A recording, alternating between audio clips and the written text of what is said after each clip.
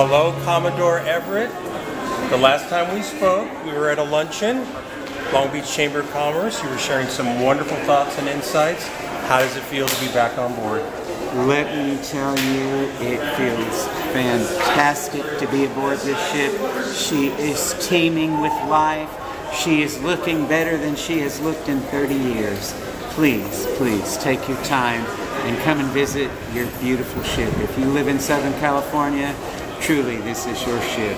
And uh, take as much pride in her as I do. And I'll be delighted to greet you when you get Absolutely. Great to see you. Welcome back. Thank you. Cheers. Welcome back. Cheers. Cheers.